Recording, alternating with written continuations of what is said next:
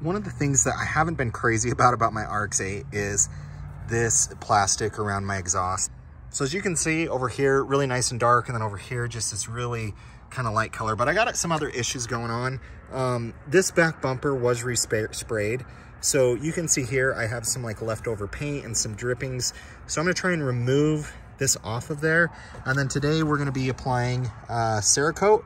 I haven't used this. I've obviously used black um, on my tires, which is the one year tire protection. And you can actually put that on plastic pieces as well. However, I've heard really good things about Cerakote and I wanna give it a try. It's really just these large wipes that you just kind of apply on there. And uh, I've heard really good things. I've seen really good reviews. So we're gonna go ahead and try and remove some of this paint off of here. I'm gonna use some isopropyl alcohol and then uh, try some different things. But you have to be careful with like acetone, things like that, because it can actually melt this plastic.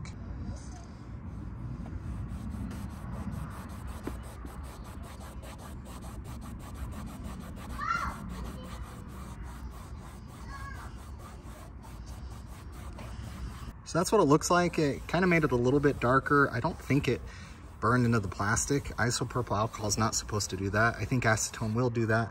But um, it did remove most of the paint. Um, there's still just a couple spots. I really don't want to use anything more aggressive. I know you can use like a compound, so maybe I'll try a compound and whatnot.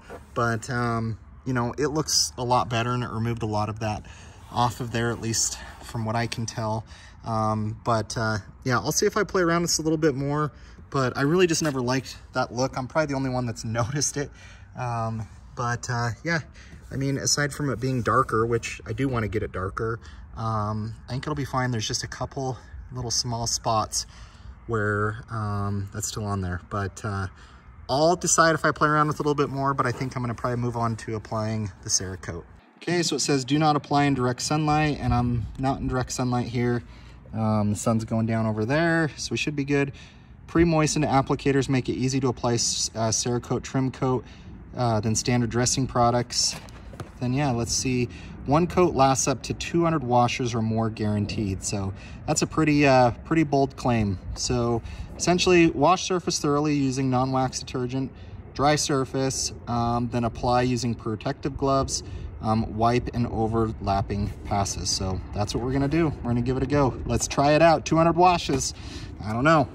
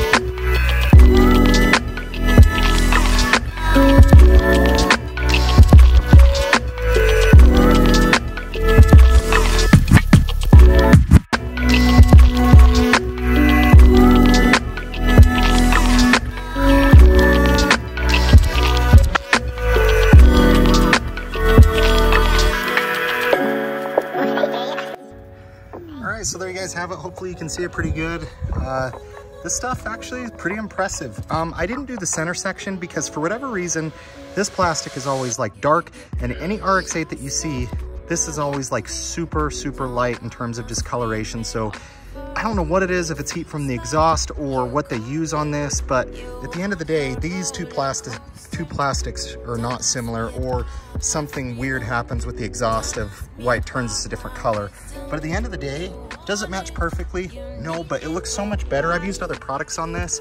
As you guys can see, it looks a lot better. You know, there's some spots that are a little bit lighter, a little bit darker. I went over them again, um, but that is as good as I can get them. Hopefully you guys have used this before and liked it. If you haven't, I think this was about 17 bucks on Amazon and they give you huge pack here. They give you 10 large extra wipes. I used two. Actually, I used three, and there were more than enough. I really didn't even need to use three. I just needed to use two. But I'll leave a link in my description below. If you guys have used Cerakote, leave me a comment below. I'd love to get you guys' thoughts on it. Uh, but overall, I really liked it. This turned out really well. We'll see if it holds up to the 200 washes. I'm Austin. This is Gone in 60 Detailing. Thanks for watching. Catch you on the next video.